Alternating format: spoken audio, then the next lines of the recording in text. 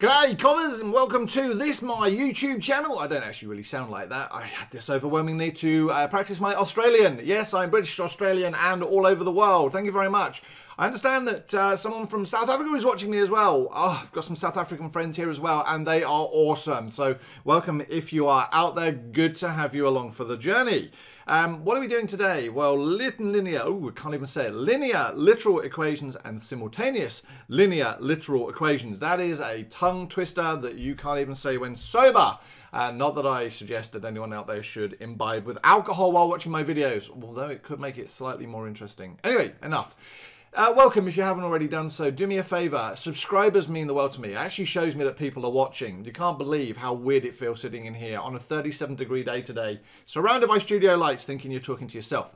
So over there is a little cornery doohickey on YouTube if you're watching this on YouTube that you can click subscribe. Otherwise, can you head on over to uh, YouTube and subscribe to my channel slash Maffs Guru. Um, what have we been doing recently? Well, in previous sections, we looked at actually solving linear equations, simultaneous equations, and worded problems. And I said this video was going to build on that knowledge. While this is a CAS course, and we can use our CAS to solve a huge variety of questions, if you're in Australia doing methods 3 and 4, one of the papers is absolutely CAS enabled. You can use your CAS calculator and life is good, but one of them isn't. And sadly, one of the things that you might be expected to do is solve linear literal equations. You're going to what That's a literal equation? Well, I'm going to be literal now and tell you. yeah, I got up early this morning to make that joke and it failed miserably. Okay, so, as I say here, what is a literal equation? Well, basically, it's an equation where your solutions are in terms of pronumerals instead of numbers. All the equations we've had before, so if I had 2x plus 3 is equal to 6, for example, then we would solve this by subtracting 3 from both sides, dividing by 2, and we'd end up with 3 on 2. We'd end up with actually a numerical answer. Well, that's uh, unfortunately not what a literal equation is. A literal equation is going to end up with your answer in terms of pronumerals. There's going to be no numbers. Uh, I mean, there might be numbers, but it's unlikely. The, whole point of this is, as I say here, just think of it as sort of rearranging a formula, trying to change the subject of the formula. And I suppose the best example, and I promise you this is going to be a short video because I've only got three examples. So an example might be qx minus r is equal to q. So what are we trying to do? The question says solve the following equation for x. And that in this situation just means we'll rearrange things and get x on its own. So we get qx minus r is equal to q. So I'm going to add r to both sides and we get qx is equal to r plus q and x is going to be equal to r plus q all divided by q. And actually, that's pretty much it. Now, you could write this answer in a different way, and that would suggest that you could also write r on q plus 1. Now, lots of people look at this and go, ah, voodoo? And I'm like, no, no, nothing to do with voodoo, I promise. Absolutely everything to do with fractions. Now, I know that many people out there hate fractions, and I'm just going to say to you, look, what we do in maths forward, you can do backwards. So if I was to give you the example of a half plus a quarter, now, normally speaking, at this point, everyone would go mental. They'd either write that down as two sixths or it'd all just go horribly wrong because people are like, I can't do fractions, they're too hard. When you add fractions, the bottoms must be the same. The denominators must be the same. So what I tend to do then, and really breaking this down, that becomes 2 quarters plus 1 quarter. And if you're sitting there going, what are you talking about? Bear with me. What would my next step be? Well, we would make those over a common denominator and we do 2 plus 1. And that would become 3 on 4. Now, the strange thing is that we miss this step out. Most of the time, we'll skip it. And actually, I think that's one of the most important steps. Because look what happens if you reverse it. The top of my fraction has a plus in it. It can also work with a minus sign. And as a result, it meant we could split this up into these two individual fractions here, then simplify it. And actually, that's what I've done here. This positive sign here has said, okay, I can now split that up into R on Q plus Q on Q. And we know that Q on Q is equal to 1. And so simplifying that, we get R on Q plus 1. Happy? Right, same thing. So moving on now, solve the following equation for x. Now we got two x's again. And using my favourite Spice Girls, 2 becomes 1 reference. And maybe there's Spice Girls playing behind me. I can't resist it. I'm sorry. Fabulous. Love, love, love, love, love. Just, Uh, I hear the Spice Girls are reuniting again. Hmm, moving on. So, bx plus c is equal to dx minus p. So first thing I'm going to do is I'm going to move my x terms all onto the one side. So I'm going to say bx plus c is equal to dx minus p. So write the question out, and now let's bx minus dx plus c is equal to negative p. Now, if you're screaming at me saying, why am I making this really, really slow? There are lots of people out there who actually find this quite challenging, and so step by step will help. Just uh, skip the steps you don't feel you need. So bx minus dx is equal to negative p minus c. All right, so I've got my x terms both on the same side. What am I going to do now? 2 becomes 1, and how do I turn two x's into 1? I factorize. So I'm going to take an x outside. That leaves b minus d is equal to the negative of p minus c. And so to get x on its own, it's now connected by a kissy kissy or a times. And so I can move that bracket underneath. So I get, or divide both sides by that, which gives me negative p minus c all over b minus d. And there we go. So realistically speaking, again, that's just making x the subject. This literal equation stuff is, is fab, but it's all algebra. Then we get to solving literal simultaneous equations. Yes, as if you thought you couldn't actually make simultaneous equations any more difficult because we already know we can do it through elimination and substitution and CAS and matrices and graphically. Now we're going to throw it in such that there aren't even number values. Okay, in my previous video, I said that we need to remember the process of elimination for simultaneous equations. If you haven't already watched it, uh, there will be a link above now that you can click and watch. But otherwise, this is what we need to do. So first things first, I'm going to try and solve the following simultaneous linear equations for x and y.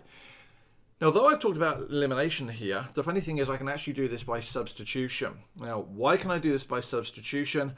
Because I know that I've got y is equal to ax plus c and y is equal to bx plus d.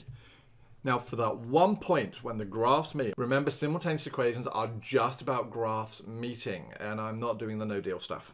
Um, so at that one point where they meet, that one solution, the x values and the y values are the same in both equations, which means that I can now say that if this and this are the same, then this and this must also be the same. So equating them, I get ax plus c is equal to bx plus d, right? And it wants me to solve for x and y. So very much like I've just done in that previous example, I'm going to say ax minus bx is equal to d minus c. So I've just swapped things over there. I've taken the bx from one side and moved it over, and I've swapped the plus c to the other side to make that a negative c. Now, 2 become 1. I can't resist it. It's weird, isn't it? x is a minus b is d minus c.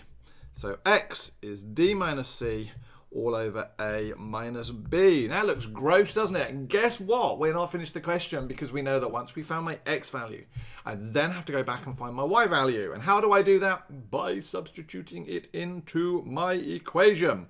So we know that, let's use that first equation, y is equal to ax plus c. We now know that x is given by a multiplied by d minus c, all on a minus b plus c. Right, we're going to simplify that down and we're going to multiply out the brackets, give me AD minus AC all on A minus B. Now, you're going to sort of say to me, why am I doing this? The point of it is, because I have a fractional value here, I'm going to want to look for some sort of a fractional value for my Y. In an exam question, they'll tell you the form that they want you the answer to, uh, to have the answer in. In this situation, though, I'm just going to go with convention. So at this moment in time, I do not have this as a single fraction, so I'm going to put them over a common denominator of a minus b. Well, I've got ad minus ac already there. I'm going to add c and multiply that by a minus b, extending that line over.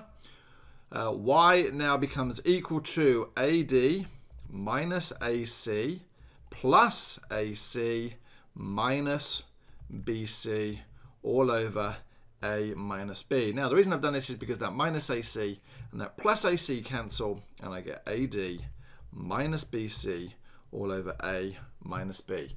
Whoa, ladies and gentlemen, there we go. There are my solutions for my X and Y. Now, that was using substitution. Now, substitution is awesome, but not always going to be possible to be used. So let's have a look at the same example with elimination. So what I've done is I've now rewritten my question with the elimination back in the form it was. But this isn't the form that we would normally write elimination in. So I'm going to refactor it. I'm going to say, well, minus ax plus y is equal to c and minus bx plus y is equal to d. Okay, because when we eliminate, we're looking for coefficients in front of the x or the y to be the same. Looking here then we see, well, minus a and minus b, are they the same? No. Uh, let's look at the front of the y values, positive 1 and positive 1. Thank you very much. That's the one I'm going to do. So I'm going to look to eliminate my y values. How am I going to do this? Well, looking at the signs in front of those y values, they're two positives. And a positive and a positive normally makes a positive. And in this situation, I know to reverse it for simultaneous equations on this stage and this stage only to make it a subtract or a negative. So what I'm going to do is I'm going to subtract equation number 2 from equation number 1. All right, so I'm going to do the top one minus the bottom one. What's that going to give me? Well, minus ax minus minus bx is going to give me the negative of ax plus bx my y values are thankfully going to disappear and I'll end up with c minus d. My 2 becomes 1 again. I can't resist it. Uh, that becomes x minus a plus b is equal to c minus d. So doing a bit of shifting around, it becomes c minus d all on b Minus A. Yes, we have our answer. Let's just check to make sure that it is, in fact, the answer that we got above. Hold on a moment. That said D minus C on A on B, and I have C minus D on B on A. Ah, oh, the world goes crazy. I've got it wrong. What am I? No, I haven't. Now, interestingly, the answers in the back of a textbook will be one answer, and there are many, many ways for answers to look the same but actually look different or be different. That made no sense whatsoever. What I'm saying is the answers, uh, uh, the answer you get would look different from the answer in the back of the book, but actually they're both correct. So how is C minus D over B minus A the same as D minus C over A minus B? Well, I can actually take out negative 1 from the top, and that will swap that to give me D minus C and I can take a negative 1 out from the bottom, which gives me a minus b. And what do I notice? Well, that minus 1 and that minus 1 cancels. And thus, I end up with the answer above. Now, my advice to you is if when you look at your answer or compare your answers, they're close, see whether you can manipulate your answer to get to one in the back of the book or vice versa. Again, exam questions tell you the form that they want an answer if there's going to be some sort of ambiguity. But algebra wise, it's always useful and helpful to be able to say, ah, okay, I can see why my answer and their answers are the same, but different. So using my value of x, how would I now find my value of y? Well, I'd substitute into that original equation ax plus y is equal to c. We'd rearrange it to give y is equal to ax plus c, which happens to be the question. Substitute in my x value, which gives me a d minus c on a minus b all plus C, and the rest, as they say, is history, because I've actually already done it previously, so feel free to rewind and see what I'm going to do there. Now, the whole point of this uh, exercise is to tell you that uh, simultaneous equations and making formulas, uh, the different subjects of formulas, is just processes. If you learn those processes and understand the algebra, you really won't or can't go wrong. Yes, you might make mistakes of plus or minus signs, but on the whole, the theory is there for you to learn. So please, please, please practice this one. It's it's huge if you're out there doing Methods 3 and 4. Otherwise, I think I'm calling it a day. If you haven't already done so, please can you subscribe by clicking that circle? As I said at the beginning, knowing people are watching this is actually really, really useful to me. Uh, uh, it saves me sitting thinking I'm sitting in a room on my own, talking to myself uh, and the dog who's asleep under the desk. Otherwise, there is a video loading for you over there. Enjoy. This is Maffs Guru, signing out. Bye bye.